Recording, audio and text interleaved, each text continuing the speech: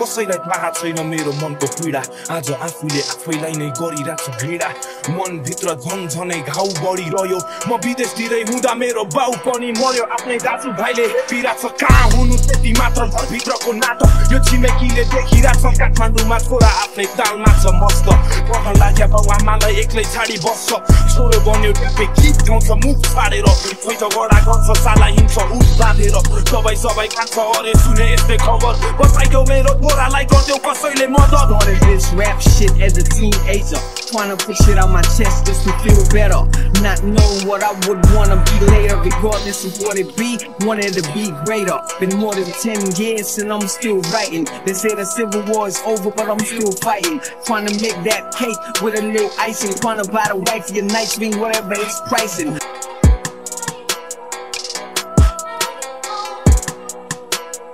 उमेर अठार उन्नाइस काम चार सौ बिस देख्नमा फुच्चे पछि पर्या हुन्छ पुलिस आफ्नै ताल हुन्छ बाल छैन दुनियाँदारी हेताउँछ उसले पाउ पछि पर्का परेपछि गुन्डा ट्यापे सबले भन्छ उसलाई गजेडी बाहिर खाते भगवान् हो भित्री मनदेखि नहेरी यताउता निस्को सिधा गर्देखि गर्दैन आमा जस्तो मा उसको ना घरबेटी बाँच्ने अधिकार खोसिसक्यो उसको समाजले चाहिन्छ मदिरा नत्र च्याप्छ मानसिक तनावले भन्छ तरिका कुलतको पर्खाल नाङ्ने हुन्छ तडी पारो पनि बस्छ ठाउँमा सानले काममा ध्यान दे हार नमान्ने विश्वास बोक मनभित्र ल्याम्मै चाल्दै पाइला सर्को तान्दै डर नमान है कोही छैन त जस्तो बलियो मान नलेर मेरो अघि भेदभावका कुराहरू बरु मिली उठ्ने खाले कुरा गरौँ यो कुपरम्परा जराबाटै उखानले हुन सकु यस्तो धुन रच्छु सबको मन छुन सकु हिजोको सम्झना भोलिको कल्पना आजको सङ्घर्ष नै मेरो स्वतन्त्रता किन पस्नु यी अनावश्यक द्वन्द्वमा आखिर अहङ्कारको सङ्घार हुन्छ अन्त्यमा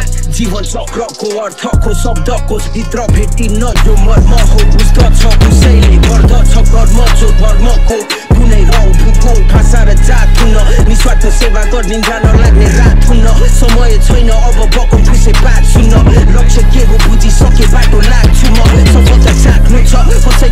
pull up